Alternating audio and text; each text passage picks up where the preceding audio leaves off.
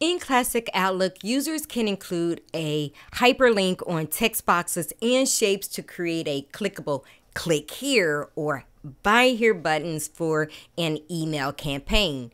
Keep in mind today, we have a combination of classic Outlook and new Outlook users within and outside of your organization.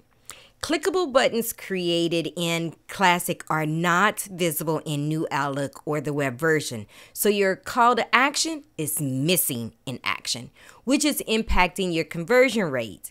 In this video, I will go over a workaround method to create or replace existing buttons. While it may require little effort, the results will be worth it. Let's get started.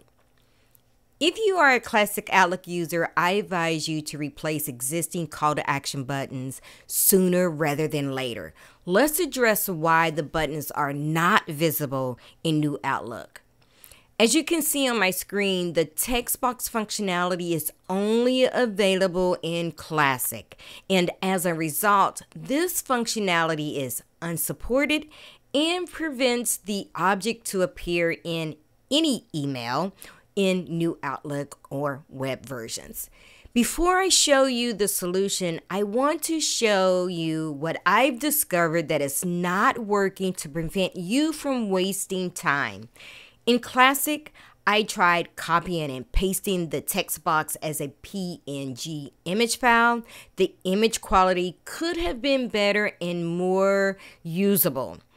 I share this information with Microsoft. Hopefully, a better solution will become available. In the meantime, my call to action for you is to hit the like button and subscribe to my channel for more Microsoft tricks, tips, and news. Now, here is the solution. Copy and paste your existing text box in PowerPoint.